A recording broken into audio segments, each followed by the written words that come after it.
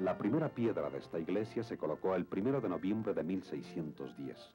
Su arquitecto fue el padre Juan Bautista Coluccini, inspirado en los planos del Jesús de Roma. Es una obra de arquitectura colonial típica del estilo jesuítico en la América española.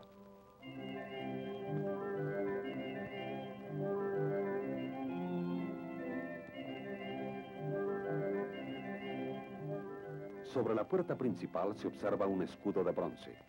Las insignias fueron limadas cuando Carlos III expulsó a los jesuitas.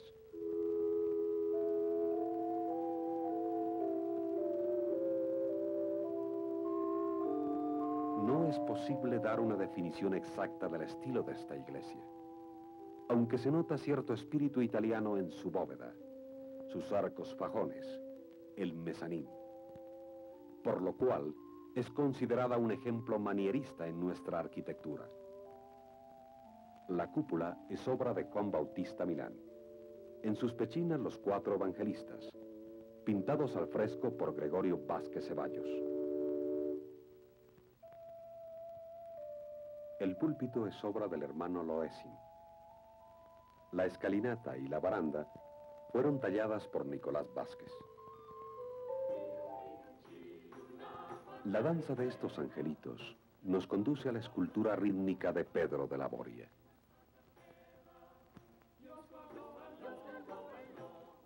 El más bello de todos los altares, el de Nuestra Señora de Loreto, el barroquismo en todo su esplendor. El que esté sentada sobre su casa ha movido a una devoción particular. Nuestra Señora recompensa con casa propia a sus devotos.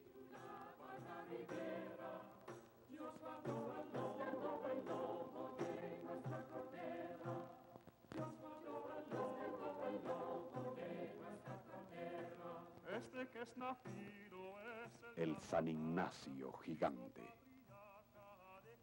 A su lado el altar de San Francisco Javier. El cuadro central es de Gregorio Vázquez Ceballos.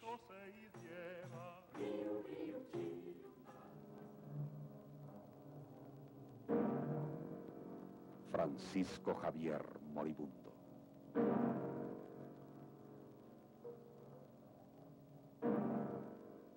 La escultura está firmada por Pedro de la Boria en 1739.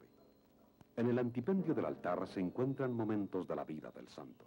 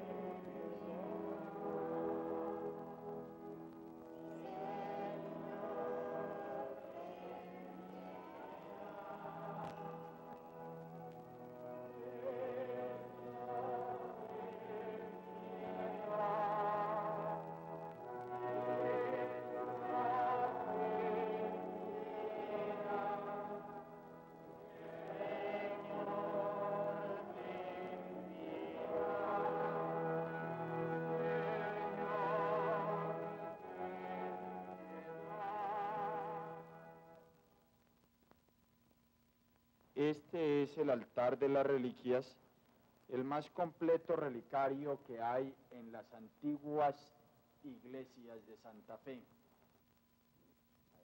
La talla de madera es obra del hermano Loessing, que se inspiró en motivos tropicales antes desconocidos por completo para él. La más destacada reliquia es esta de la Santa Cruz.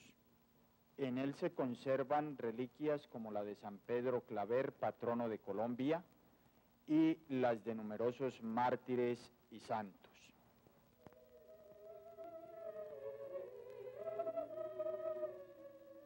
Al lado izquierdo de la iglesia encontramos el altar del rapto de San Ignacio.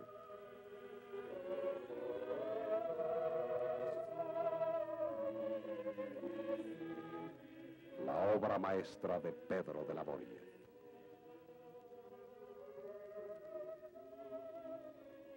Representa el éxtasis del santo, quien alza los ojos a un cielo cargado de ángeles que portan inscripciones y lemas de la compañía de Jesús. El ángel principal porta un libro donde se lee en latín. La espada del Espíritu es la palabra de Dios.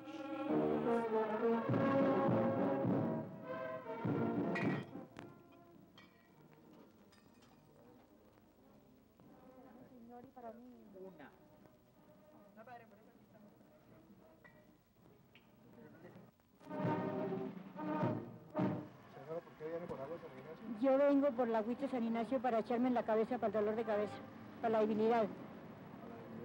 Me dicen que es bueno para la debilidad. Para remedio en la casa, porque soy huérfano, los niños sin madre, soy un hombre viudo. Y la necesito para joder la casa porque es muy buena para remedio.